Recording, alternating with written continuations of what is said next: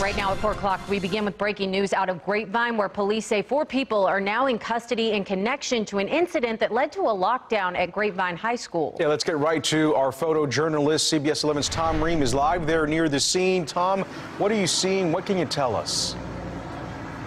Well, if you look at this live picture, you can see there's really not a lot going on. It just looks like any other day after school has been let out.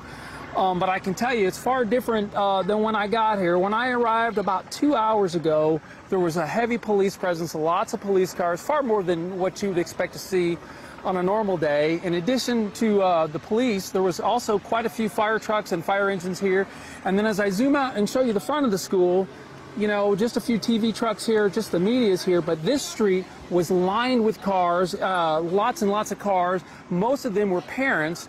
Uh, I talked to one mother. She heard the news and she got here as quick as she could.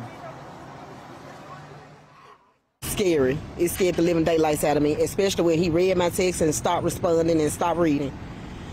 So it's a scary situation.